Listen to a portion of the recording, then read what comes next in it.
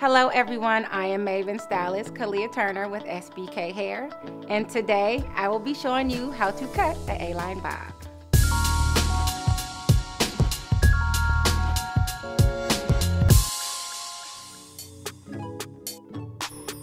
Hello, today we will be styling the beautiful Kiana. What she is wearing is three bundles of dark root blonde 14 inch along with a dark root blonde 14 inch lace closure.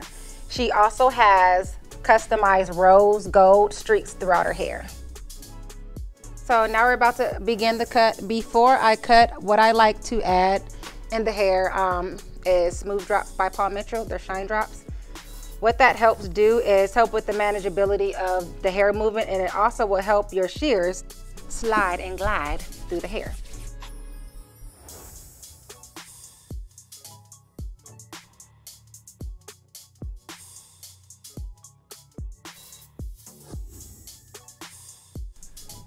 So basically what I'm doing here is I'm gonna section the hair off into three sections and start in the back.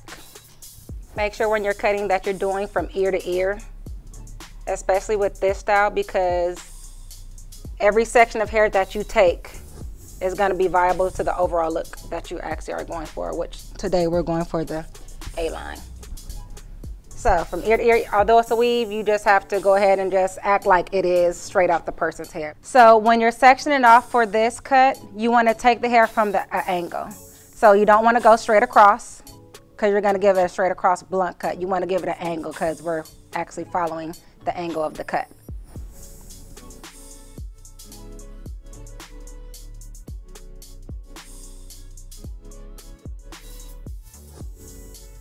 We're gonna tilt our client's hair down. Start with the first middle section. That's gonna create part of your guide. With this, I go in with the razor only because I don't want it to be blunt on the neck. I want it to sit nice and soft. Once you have decided your desired length, you wanna go ahead and do your first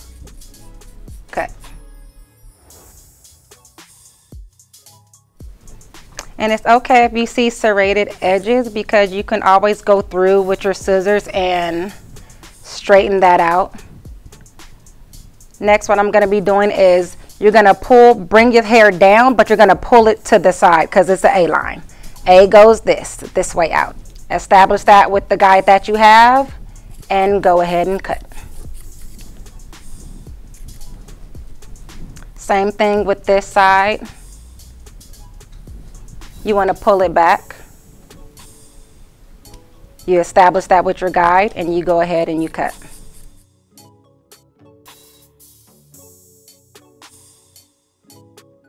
You're going to do the same thing with the opposite side. You're going to repeat. Break it into an A, just like you were to draw the letter A with your pencil. Establish your guide and cut.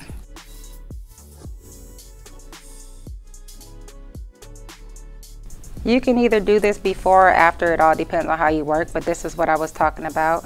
Getting most of those longer pieces off, going with your shears and just take it off.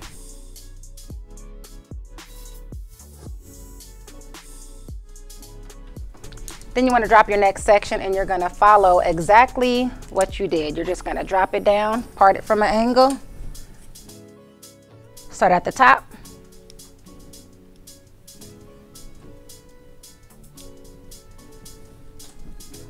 bring it down.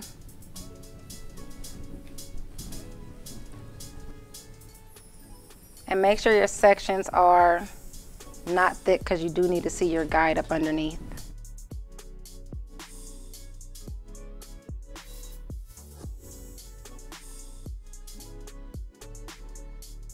Also, uh, make sure when you guys are cutting, make sure you're pivoting your body and you're moving your body along with that you're cutting at.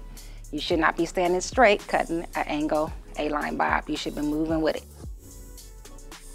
Your arm will reflect the degree that you're going, so your elbow needs to be up at about a 30 degree angle. Also, being that this is a sew-in, it's okay if your sections aren't completely clean, only because the way you put in your tracks is not necessarily gonna be the way you're gonna cut it.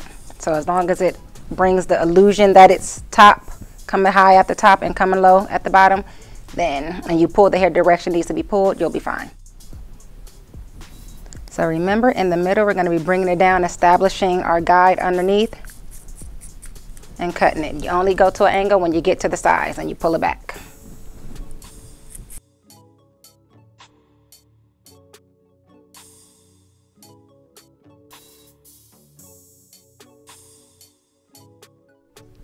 So this step that I am doing now is I'm gonna build weight and movement in the middle of the head. So when she turns her hair, her head, all this moves with it instead of just moving down here. We want it to move down here and we want it to move up here. So we're gonna gradually build weight. So for these sections, you just need to go straight across. We already established the angle that we wanted. Put on this section of this hair. It's optional, you don't really have to. I like to keep it going every now and then um, just for the safety of my shears like I explained. The sharpness, it cut, gives you a precise, clean cut. Alrighty, so what you're going to do is you're going to take the section that you have underneath that you previously cut because that's going to be your guide. For this, we do not want her head down. We want her head up. We're building weight. Anytime your head is down, you're taking away the weight. If you're building up, it has nothing to fall on. So it's just going to fall here and do this. So we're going to ask our client to put her head up, which she already had. Not that high up. um, we're going to ask our client to um, put their head up, just straight looking straight. Check their angles again. All right, everything's straight. And we're gonna take the section that we previously got done with underneath to be our guide. So you establish your guide up underneath by pulling the hair out at a angle. Just, I mean, not at an angle, just straight out. Alrighty, so you're gonna take it from there. I already established my guide. Take the razor and you're just gonna bring it down. Anything that's left behind, bring it back. Your guide is right there. Take it off. Same thing, you're not gonna pull it to the side. You wanna make sure that everything stays behind so we can create that angle. Okay, you're gonna pull it straight out. Created my guide and we're going to cut. And repeat.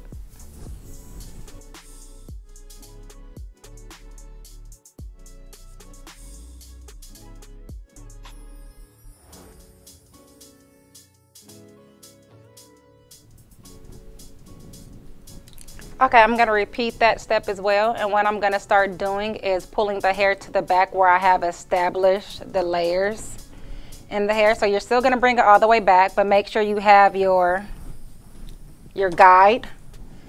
Only because once we cut it, we want the angles to fall all in the same area. So I start building the weight and the, um, I start building the texture and the weight right in here so what I'm cutting is going to lead right into this middle. So it's kind of like follow the leader. I get my guide ready and set that I'm going to be following. Get the hair from the top. Bring it all the way back. My guide is right there. And I cut. Pull the hair all the way back. Make sure it's very important that you guys keep the hair pulled back behind your client, behind their ear. That's how you're really gonna get the intensity of the A-line. Short pushes long, you don't gotta worry about it moving, it's gonna move itself. That's what we're creating in this hair.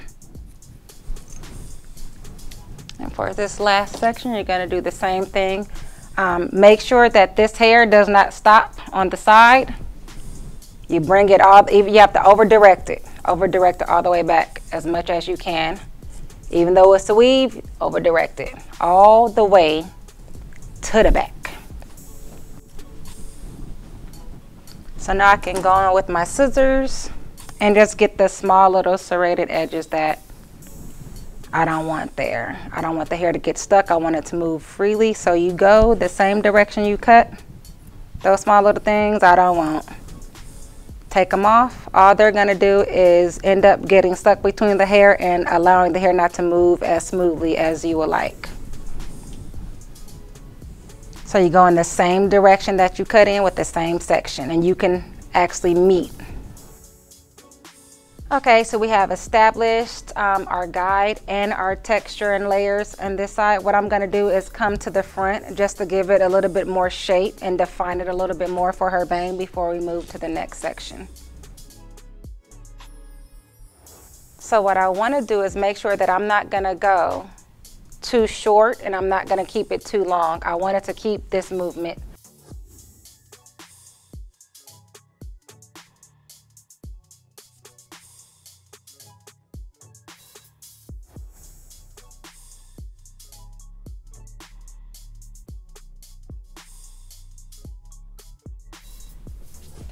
Beautiful. And that is how you cut an A-line bob. Thanks for watching.